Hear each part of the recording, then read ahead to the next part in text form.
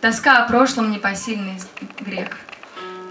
Не страшно, что мы больше не близки. Я знаю слишком много разных мест, где можно позабыться от тоски.